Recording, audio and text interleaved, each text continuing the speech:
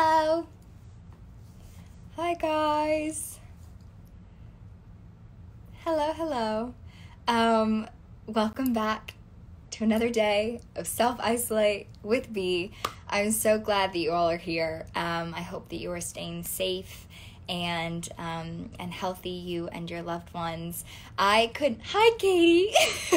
I'm so glad you're on here. Um, I could not be more ecstatic for one the fact that this um, this human being is coming on here to say hi to you guys, but two because I have known Jennifer Morrison since I was, I think, seven years old. Um, and she's just been the most beautiful friend to me. So I am going to bring her on, and I'm so excited. Um, so we're just going to answer some questions for a few minutes and uh, have a little reunion. Hi, Patrick. Um, and so I'm going to guest her right now. Also, um, let's see. Do, do, do, do, do. Hold on. She just texted me. We're gonna stall a minute. We're gonna stall a minute. We're gonna answer some questions. It's gonna be good until she's on. Um, this is so funny. Hold on one second. I have to text her really quick. Okay. Yes. Hi. I am here. We uh we're going to hold for a moment. Um, I'm gonna answer some questions until she can come on. Um, but Katie said I love her, and she did an interview saying she watched the Bold Type and I died, as she should watch the Bold Type because it is the best. Um, hi Amanda. Thanks, Patrick. I hope you guys are staying safe too. Thinking of you all. Um, I figured while we wait, I can guest some of you guys right now. Um, that way I can see some of you and say hello, and then we're gonna figure out on her end how to get her on. Um, hold on one second. Sorry, I'm trying to write as I'm on with you guys. Um, I think what we might have to do is here's what I'm thinking. We are going to also talk to Wendy. you, Katie. I need it to happen. Um, okay, here's what we're gonna do. Um, I am going to. We're gonna figure out on her end because Instagram's not letting me add it on. Um, so we're gonna come back in a second, and please stay up and hang out with us. We will be there. We're gonna figure out this little technical thing that's going on. Um, and I will be right back, I swear. Love you guys. She's here. go. I'm gonna bring her on. Hold on one second. Um, hold on. I was like, I can't get it to work. Hi, honey. Oh, we did it. I'm We so did it. proud of us. I know. you look so pretty. I was um I literally said this morning because I've been trying to like shower and look semi decent for these. Um and today I woke up and I was like, you know what? If there's one person who can make me feel like pretty enough to just like not wear, I was like Jen because she's oh my god, of course. So I was like scared to breathing today. Thanks for I doing I mean, I put on some mascara, which was like a huge leap forward. I Jerry was like, "Oh my god, you're so done up." I was like, "I put mascara on." you look so good. Thank you for doing this. I'm so I mean I know everyone else is freaking, but I'm equally is like so happy. I'm happy to be here. It's my pleasure. I um I was talking to my brother's girlfriend today because she Mm. just started Once Upon a Time from like the start again, and Oh. um, I was like, Jen's coming on. And she was like, That's so. Colin's on here. Hi, Colin. Hi, Colin. Um, but I was like, It's so crazy because I've literally I've known you since I since I didn't have front teeth since I was like full. no, you were so little. I was so tiny, and you were one of the first people that I can remember that showed me like just the most love, and also I was seven, but you treated me like I wasn't, and you would write me emails to like my mom's email account and be like checking in, how's life, and you were just always just so lovely to me, and just I just do I have such love for you, so thank I you. had a I had a picture with you from the episode of House in my trailer for years. You did. I think I don't know if your mom maybe gave me the picture or something at the end of the episode. But I feel like that picture even like traveled with me to Once Upon a Time because I had just like all my trailer stuff together. Yeah. But yeah, I had a picture of us from that set forever in my trailer. Thank you so much. That's the sweetest thing. I could cry. I didn't, I didn't know how much I needed that, but I did. Oh no, you were always sweet. hanging out with me. Oh, I love you. Thank you. Um, are you you're self isolating? You're in LA. Are you in LA? Yeah, I'm in LA. It's just uh, me and Jerry and Ava. Ava's yelling at me over here because she like wants dinner. She starts begging an hour before dinner. I'm trying um, to foster a dog right now. Oh, how's that going? Well, I haven't gotten the dog yet. Oh, so. you're trying. I thought you said you are. Okay. I think I yeah. was too honest in my application. Oh yeah. They asked me if I was good at crate training, and I wrote, "Yes, I've done that before." Dot dot dot. But I like bed cuddles. I just think I was a tad too. Yeah. I think I should have lied a little bit more. Yeah, I do. All I want is a puppy. I just want to snuggle with it, you know? Yeah. Crate training is worth it though at night. Uh, it's definitely in the long run worth it. I know. I need to figure it out. Um, should we answer just a few questions? Oh yeah, yeah. I don't know how. I mean, the multitasking in this situation is so. I'm so bad. Complicated. Okay, I'm just gonna. There's like a question box when you do lives, and then people can ask questions. Oh, okay. Um, so many which fancy. I always I always wish you could share it with the person that you're live with because you have like this pressure to try and pick a question that. Oh, you can see the questions and I can't. Okay, yeah, I got it. The problem. Uh, that's fine. I trust you. I, I have got you. I promise. Um, let's see. Mm, okay, we'll start. We'll start with this.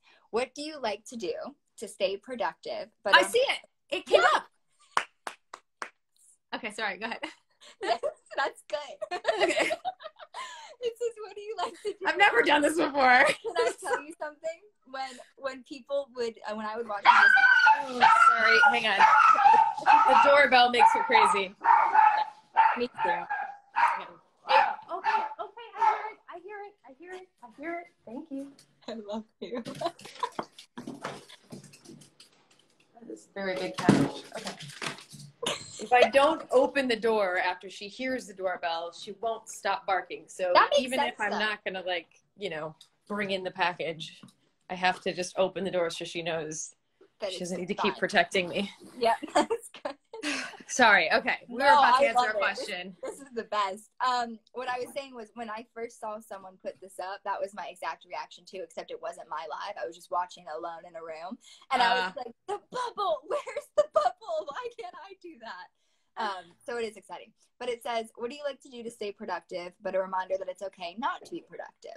Because I think everyone's kind of in this weird funk right now, where it's like yeah. you have all the time in the world. You should be so creative, but yeah it's just hard to sometimes. It's yeah, it's I, I, gotta say it is tricky. I the first two weeks I felt so much pressure to like catch up and dig myself out of reading that I haven't been able to do, and I've had, I have so many projects that I'm developing as a producer and a director right now that it's like it's overwhelming just the sheer amount of content that I have to manage on a daily basis and yeah. I tend to be at my best when I can go like really hard at one project at a time so it's a huge challenge now, kind of shifting into doing more producing to like have to split myself creatively between so right. many things that require so much of my mind to kind of imagine. You know, it's like, yeah. I, I feel like I live in my imagination in all these potential versions of things more than I can live yeah. like in something concrete.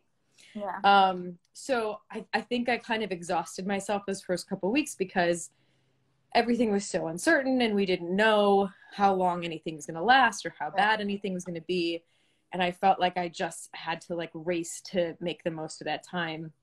And then my body kind of like kicked my ass. I just like i had a night where i got super exhausted yeah. and it was just an exhaustion that was so different than anything i'd ever experienced to the point where i was scared because i was like oh my god this is like one of the right. symptoms you know? It really kind of scared me. And so i just stopped and I slept for like two days. Like I just I just laid in bed. I slept that night like almost 12 hours. I clearly needed yeah. it. Um, I didn't really get out of bed the next day. Like Jerry totally took care of me all day.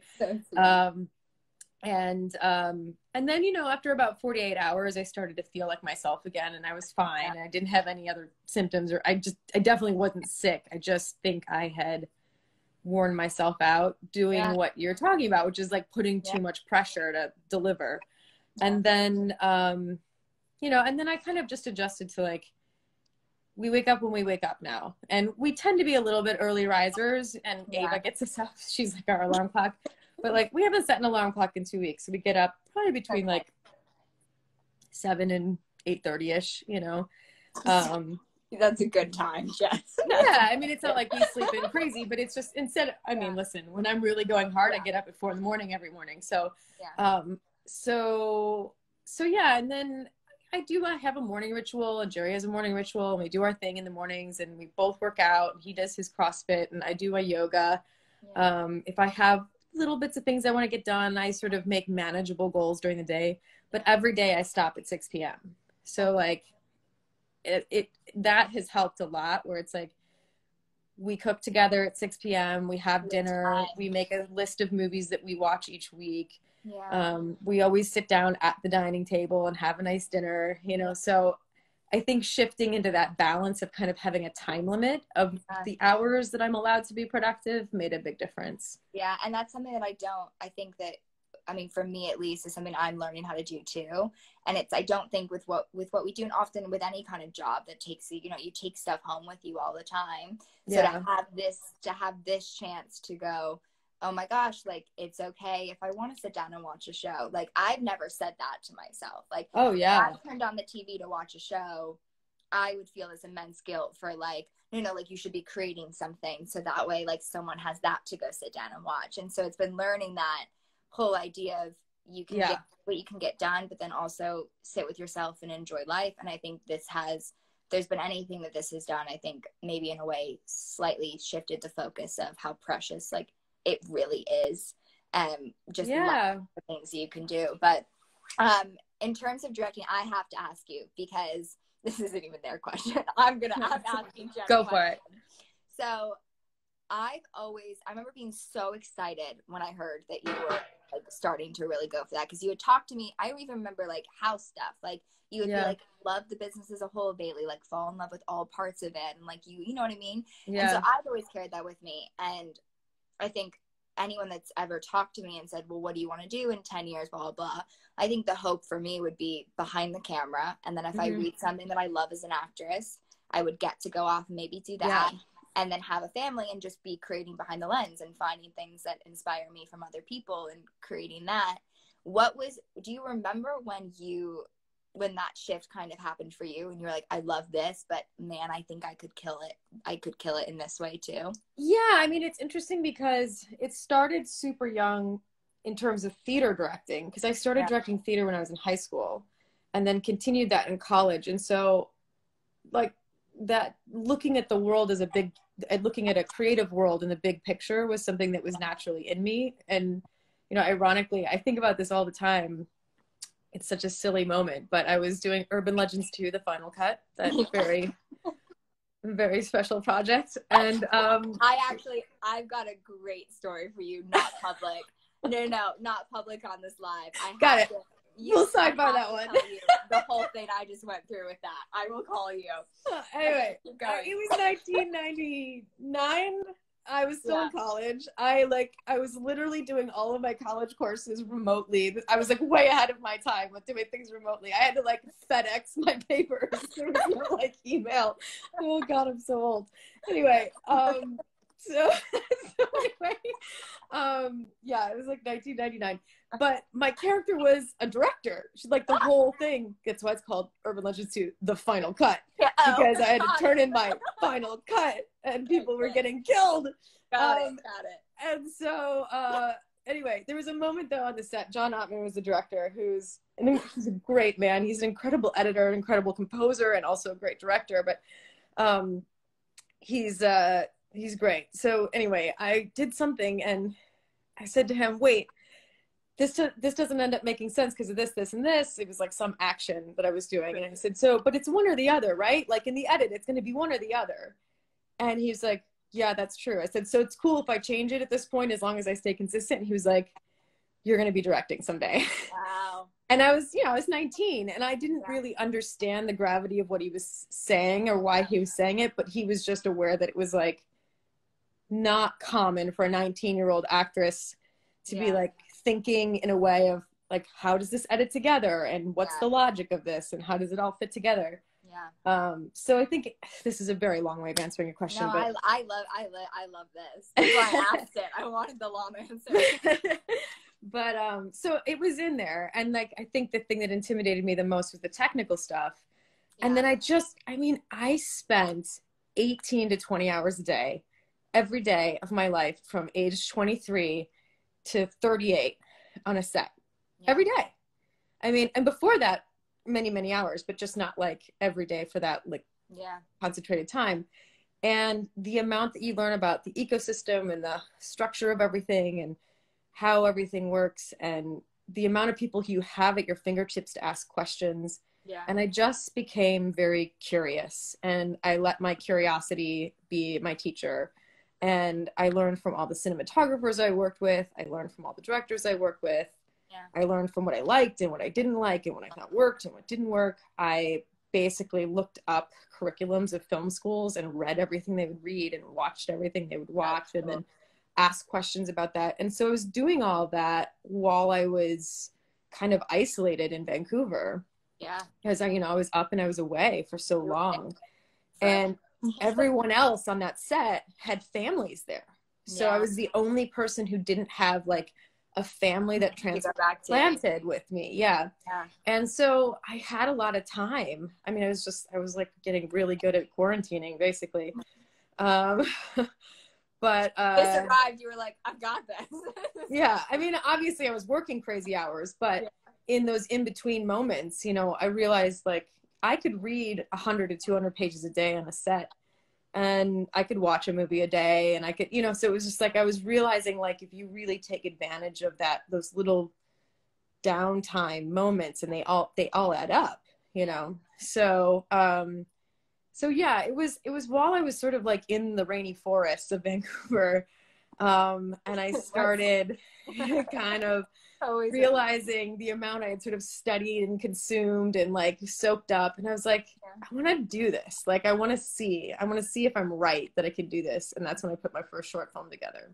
That's amazing. That's what I've been. I mean, the the short film world is probably off of a live that I would love to talk to you about because mm-hmm. I've been saying that for a while. It was mm-hmm. like because I I've start I started producing like I produced when I was fourteen, but I like I did that movie and I would like to say that it was it was I was more on the ends of I think I jumped in creatively mm. and like gave that I wasn't there for the before process of it all. Sure, yeah, prep, I, yeah. I was like I was originally attached just to be in it and then I thought it was going to conflict with my show. So then I said, "Can I just produce it?" And then we cleared the schedule. But by the time we cleared it, yeah. I was kind of half in on that. So, you know, I, I dabbled with it, and then I did another one then kind of added like a new layer to it where like I was hiring our crew and like I was a part of those discussions, but also realizing that so many things were happening on set that weren't being cleared by me, even mm. though I'm part of mm. that and learning that for the first time and going, yeah. oh man, like I did just get walked over in that aspect. Okay, learn that, see that.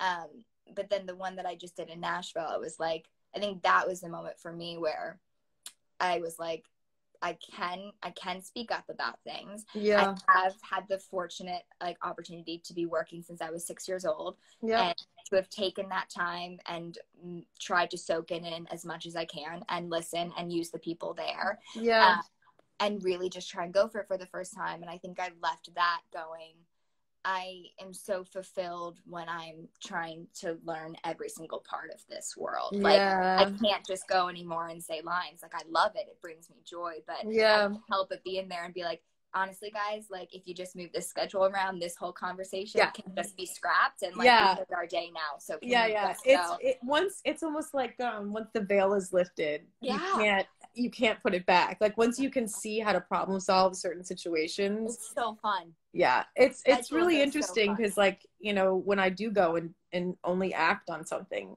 um, I I really compartmentalize and I go in a very particular mindset. But it's also why I'm super picky now because I know that my problem solving brain is not going to survive a, a toxic environment. You know what I mean? Like I'll I'll lose it. Like I'll I'll just be like I I can't watch. I can't watch how wrong this is all going. You know?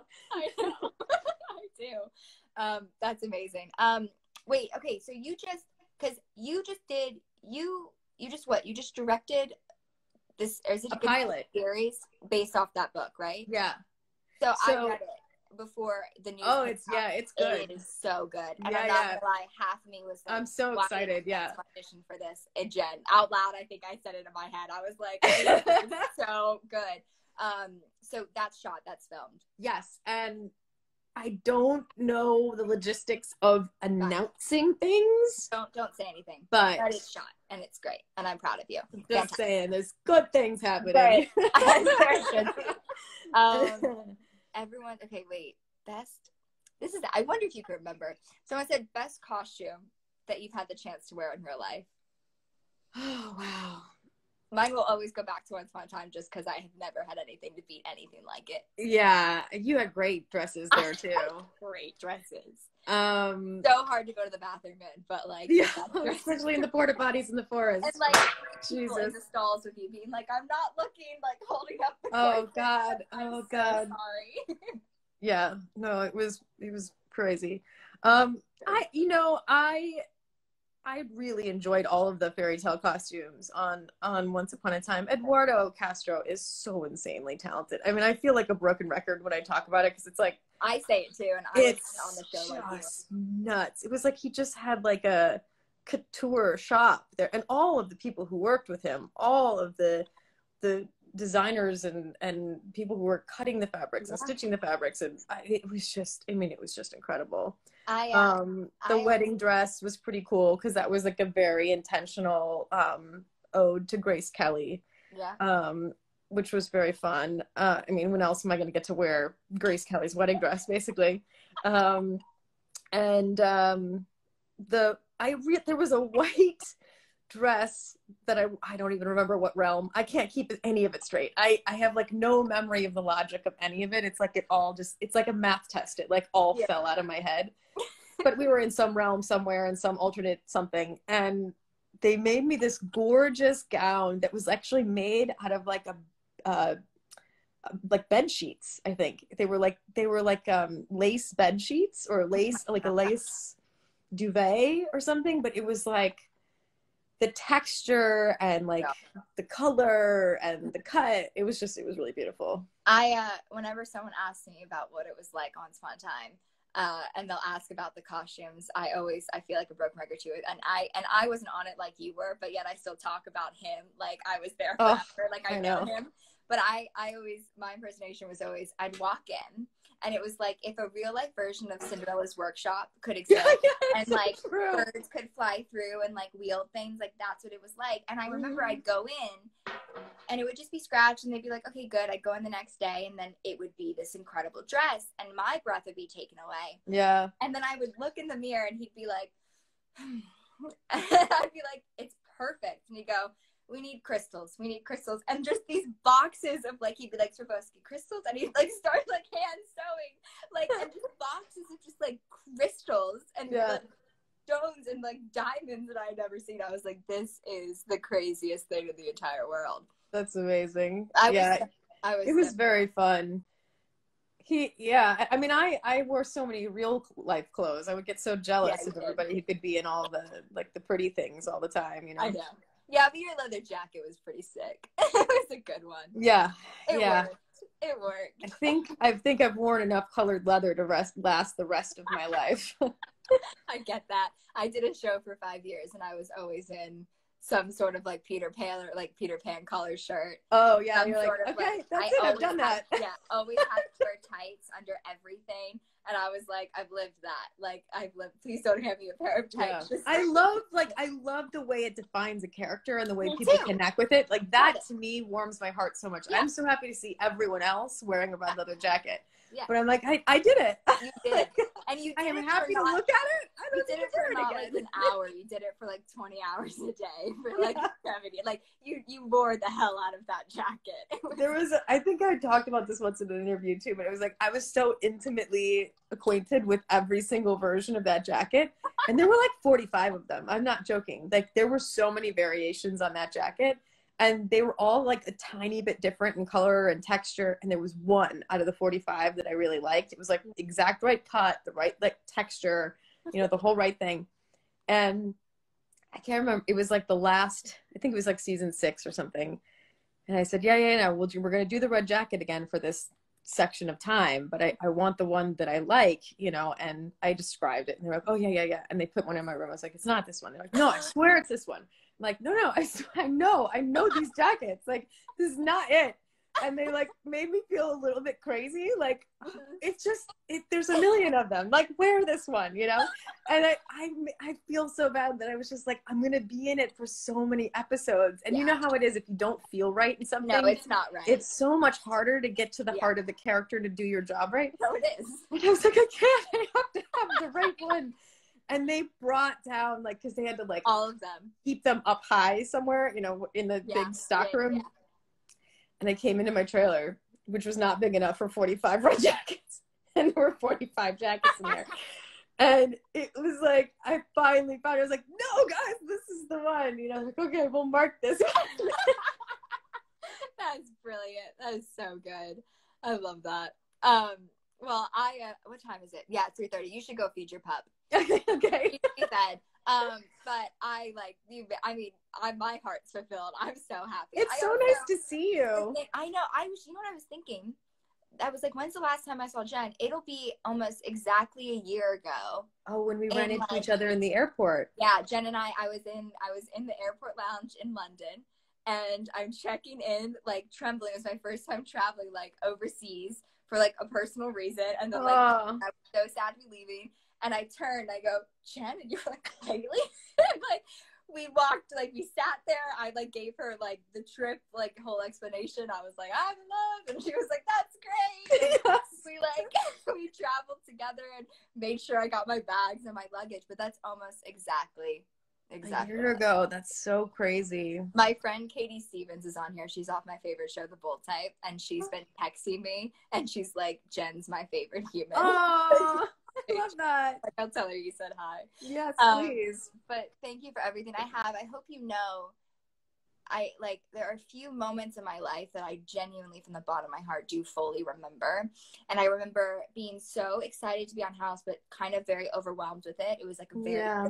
feeling for me and you were the person that if I would look over and see my heart, I just remember that feeling of like just calmness and like that's a protection so nice. and that's carried on forever and so i not only just respect you so much in every aspect and i do and i really mean that admire you so much um like I hope you know you've you've touched my heart and like those things do carry on in life and like it always. Oh, I love that. You have always been such a special soul. I we you know we were doing those scenes in house and it was like all of us were looking at each other going like this little kid is putting us all to shame. No,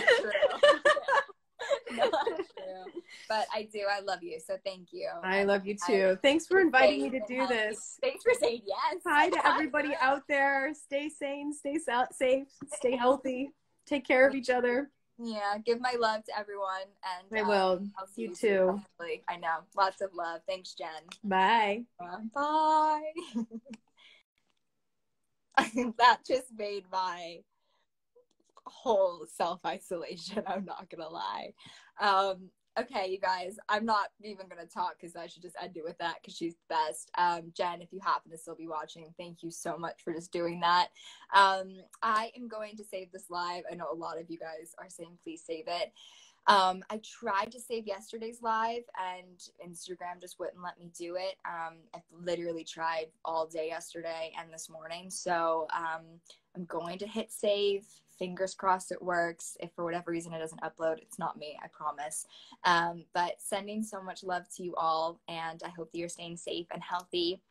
Um, I don't know about you. I woke up very overwhelmed by the news today and just kind of feeling it all um, a lot and realizing that, um, you know, it can be so overwhelming to not know when there is an end in sight. And um, my heart just goes out to everybody. And so if you have the ability to stay home, please, please, please stay home. Please do your part. Um, I know we can all feel so helpless with what's going on right now, but this is a way that we can um, do something on our end to try to make a difference. So stay home if you can.